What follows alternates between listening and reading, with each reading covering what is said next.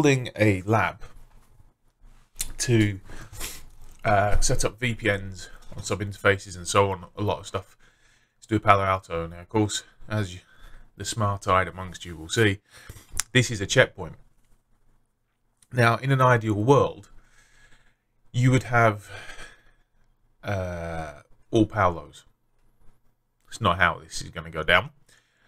But really, if I was going to be completely sort of vendor agnostic, in an ideal world, you would have the same vendor either side of a VPN because it makes configuration a whole lot easier. I mean, say for instance with Checkpoint, um, the whole multi uh, entry points and everything works perfectly between the two checkpoints, whereas you can't strike that up with another another firewall vendor.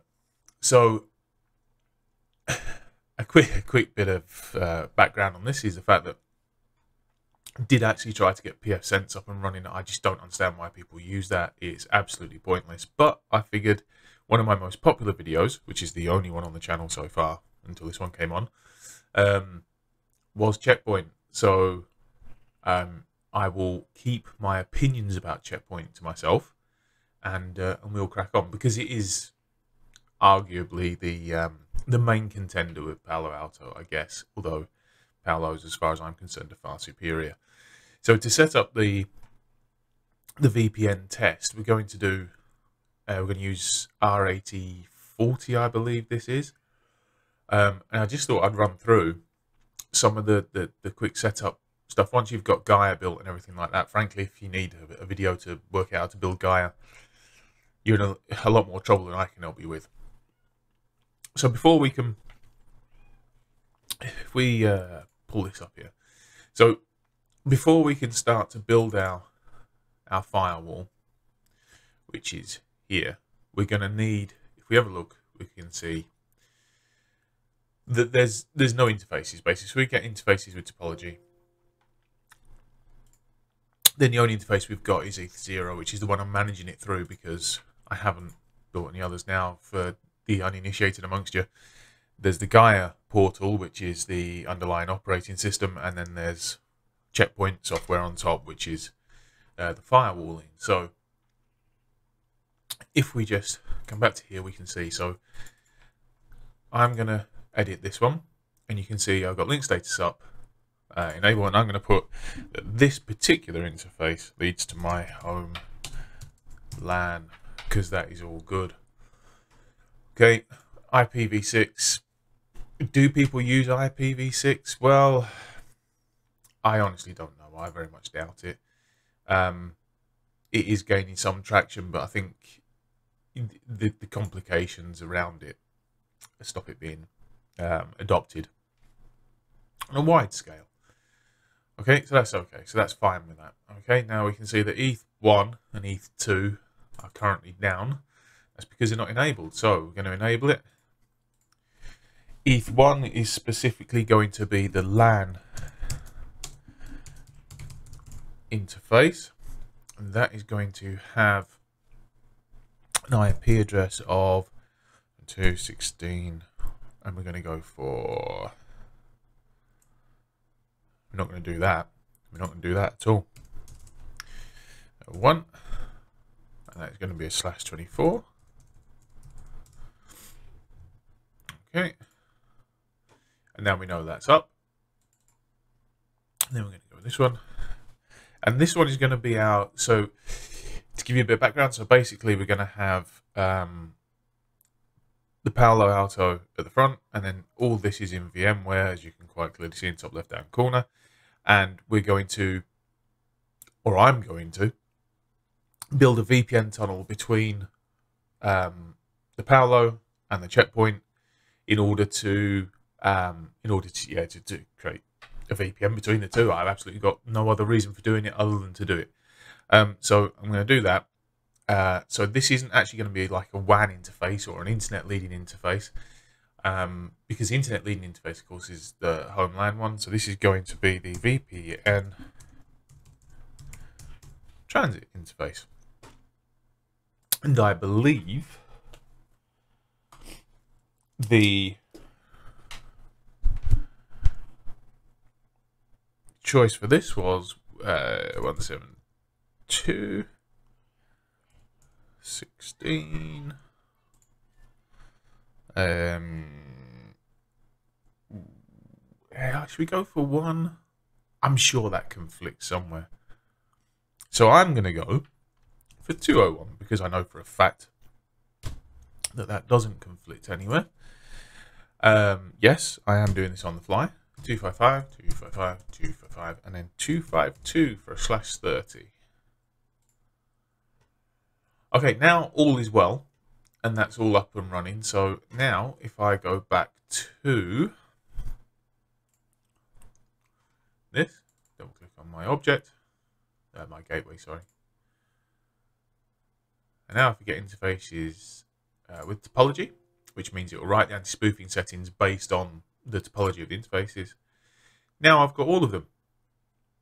As you can see, I've got my ETH0, ETH1, ETH2. So that's all good. Okay, so now I can go and we can do our, our anti-spoofing here. So we modify it and go internet, external, um, so on. But I'm not going to do that at the minute. Okay, this one will be based on uh, this network internal. It's fine. And then our transit. Uh, this network internal fine. Yeah, okay. So just just reminding myself of the default settings there. Okay, that's okay. I'm going to create, create signature uh, keys. Now, what I should have done there, that I didn't do, is I also need to enable IPsec VPN because I'm going to be using VPN. Okay, and I need to create a security policy. So we have one policy already, which is the standard policy, which contains the any any drop, the cleanup rule. I'm not going to go into rules here, but if we wanted to add a policy, we can manage policies, uh, manage policies and layers. Policies, it's this one, new policy. So now we can create a new policy. So we're going to have our lab policy. Don't know why I've done that. Uh, this is our blades, uh, access control, threat prevention, so on and so forth. And then for our installation target, so that we can have install on target, we are going to select a specific gateway, which is going to be our checkpoint VPN gateway. Give it a minute to think about it.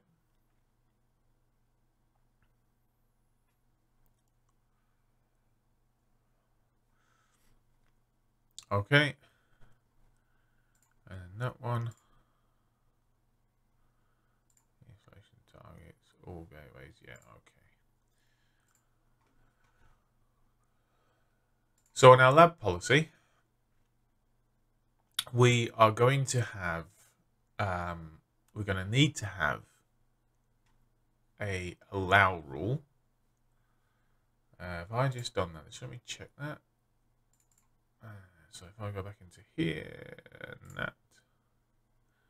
Yep, so want to hide all that way. That's done right. Okay. And then we are going to allow. Drop that a second. We need to allow our policy, a new rule, uh, new section title above, which is going to be our management rules.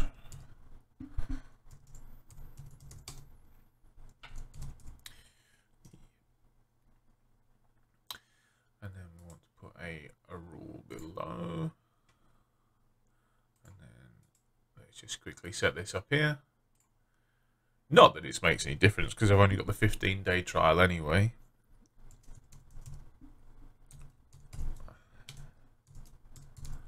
But it does help. Okay, so this rule now, so I want our management. I'm going to create so I'm going to create a new uh, network, which is going to be my n slash homenet. That is 192.168.0.0 255.255.255.0. Okay, so it's going to be our home net. And then the destination is the gateway. I'm going to allow any traffic because I can't be asked to do anything else. Except, and I'm going to log it. Okay, so I can now get to my checkpoint VPN um, object, but any other um, any other traffic is is not allowed.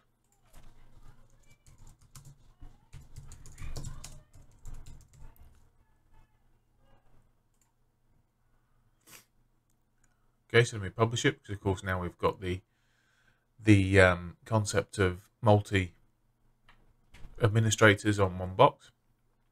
So you create your settings locally and then um, you publish it and then those those um, changes that you've made and then get published a policy that everybody else can see and then indeed the policy that's going to get pushed and we're going to push the lab policy and the targets are our checkpoint VPN. I'm going to install it and I'm hoping it's going to install okay. Okay, and if we want to have a just quick check there, we can just check on the details and we can see that it's a installed okay. Now, just as a quick aside note, I'm not going to add any of these, I don't think, although maybe I might do in the future. Um, if we were to go into here and add these, for the ones that are the subscriptions and things like this, you would then see a warning and say that, well, there's no subscription attached to it or there's an issue with this blade. Um, because I'm not licensing it, I'm just using the uh, the trial license, the demo license, so to speak. Um, that that would be the case. So it's not, uh, you know, we, we don't need to worry about it too much. Right, so so that's it. So it's actually a quick overview of R80 as well. Um, but I'm going to stick this video up as a part one, and then we will look at, uh, at part two later, and we will build the VPNs between the two.